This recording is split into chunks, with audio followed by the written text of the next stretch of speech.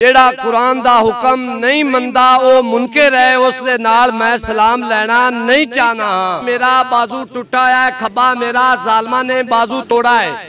मेरी F I R दो सौ सतारह बटा अठारह है चार बेटियाँ हैं दो बेटे हैं मेरा कोई रोज़गार नहीं है मेरा कोई कारोबार नहीं है दर बदर फिर रहे हैं ठोकरों खा रहे हैं हमारे लिए तो कोई घर का मकान भी नहीं है और हुकूमत चेक कर सकती है ਸਲਾਮ ਅਲੈਕਮ ਜੀ वालेकुम सलाम ਬਜ਼ੁਰਗੋ ਕੀ ਨਾਮ ਹੈ ਤੁਹਾਡਾ अली शेर ਅੱਛਾ ਚਾਚੂ ਅ, ਇਮਰਾਨ ਖਾਨ ਦੀ ਹਕੂਮਤ ਖਤਮ ਹੋ ਗਈ ਹੈ जी ਤੇ ਨਵਾਂ ਵਜ਼ੀਰ ਆਜ਼ਮ ਸ਼ਬਾਜ਼ ਸ਼ਰੀਫ ਸਾਹਿਬ ਹੋਏਗਾ हाँ जी ਤੇ ਕੀ ਤੁਸੀਂ ਕਹਿੰਦੇ ਹੋ ਕਿ ਤੁਹਾਡੇ ਰੋਜ਼ਗਾਰ ਤੁਹਾਡੇ ਹਾਲਾਤ ਬਦਲ ਜਾਣਗੇ ਕੀ ਪੈਗਾਮ ਹੈ ਤੁਹਾਡਾ ਮੈਂ ਕੱਲ 30 ਰੁਪਈਆਂ ਦੀ ਬੋਤਲ ਪਾਣੀ ਵਾਲੀ ਲਈ ਤੇ ਅੱਜ 35 ਦੀ ਦੀਜੀ ਹੈ ਮੈਨੂੰ ਸਹੀ ਅਮ, ਤੇ ਸਾਡੇ ਪਾਕਿਸਤਾਨ ਦੇ ਵਿੱਚ ਮੈਂ ਤੇ ਆਨਾ ਵੀ ਜਿਤਨੇ ਹੀ ਕਲਮਾ ਨਬੀ ਦਾ ਪੜਨ ਵਾਲੇ ਨੇ, ਉਹ ਕਦਰ ਔਰ ਇੱਜ਼ਤ ਕਰਨ ਨਬੀ ਦੀ ਆਲ ਪਾਕ, ਅਲੀ ਦੀ ਔਲਾਦ ਪਾਕ ਕੁਰਾਨ ਤੇ ਚੱਲਣ, ਜਿਹੜਾ ਕੁਰਾਨ ਦਾ ਹੁਕਮ ਨਹੀਂ ਮੰਨਦਾ, ਉਹ ਮੁਨਕਰ ਹੈ, ਉਸ ਦੇ ਨਾਲ ਮੈਂ ਸਲਾਮ ਲੈਣਾ ਨਹੀਂ ਚਾਹਨਾ। ਹਾਂ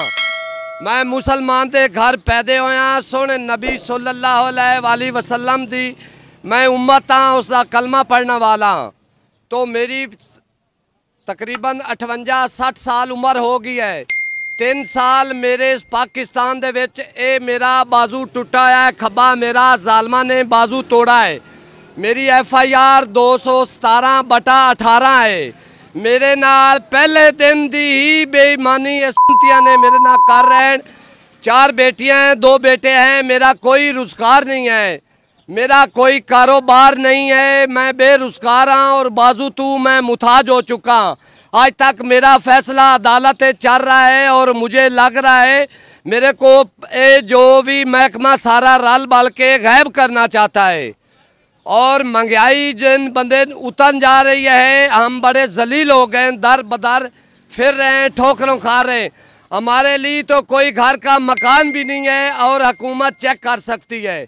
तो और मेरी ये आज़दी है कि पाकिस्तान ਦੇ ਵਿੱਚ ਦੀਨ ਦੇ ਝੰਡੇ ਜ਼ਿੰਦਾਬਾਦ ਹੋਣ ਕੁਰਾਨ ਦੀ ਅਦਬ ਅਦਾਬ ਹੋ ਮੁਸਲਮਾਨ ਦਾ ਸ਼ਰਮ ਹਯਾ ਕਾਇਮ ਹੋ और डाकू लुटोरे ख़त्म हो तो ईमानदारी हो तो ਅਸੀਂ दुआ करने हैं भी जो भी मोमिन इस पाकिस्तान का लीडर आएगा और कुरान का अदब करेगा कुरान पे चलेगा हम उन, उसके साथ हैं रोज़ क़यामत तक इन ताला क़यामत दिन भी उसकी अगुवाई देंगे। ये मुसलमान और ईमानदार है, इस दीन नाफज कीता है, ये दीन के साथ खड़ा है। हम भी उसके साथ हैं। बकाया बेत अल्लाह की ज़ात जानती है, जो ईमानदारी से चले।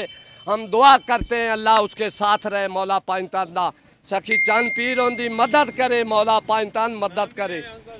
तो मेरे साथ ज़िला उकाड़ा का मैं रहने वाला और लाहौर दिहाड़ी बता करना।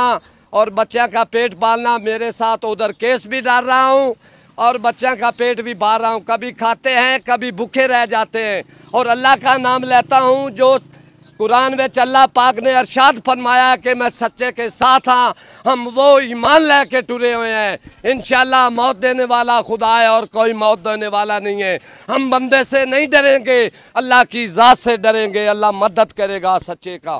जो भी सच्चा आएगा, अल्लाह पाक उसकी मदद ये ये वो जज्बा चाहिए, ये वो जज्बा चाहिए, अगरचे ये बंदा एक मजदूर है, अगरचे ये बंदा रोज़ दिहाड़ी कमाता है अपने बच्चों के लिए, रोज़ अपने बच्चों के लिए निकलता है, लेकिन इसका जज्बा है कि पाकिस्तान में इस्लाम आए, पाकिस्तान में वो हुक्मरान आए जो इस्लाम और शरीयत पे पाबंद हो। ऐसा पाकिस्तान बने, ऐसा हुक्मरान आए जो पाकिस्तान को इस तरीके से लीड करे कि पाकिस्तान में हर किसी को इंसाफ, उसकी दहलीज पे मिले।